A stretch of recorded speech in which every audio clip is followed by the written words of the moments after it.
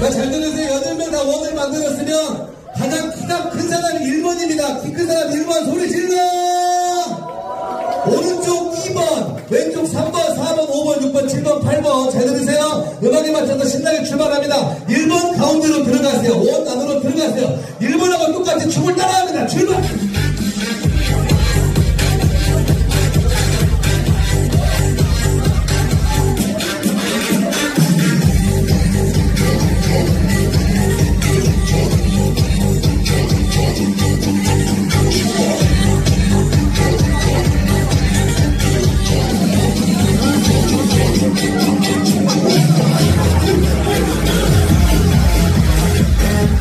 자, 1번 나왔으면 2번 들어가.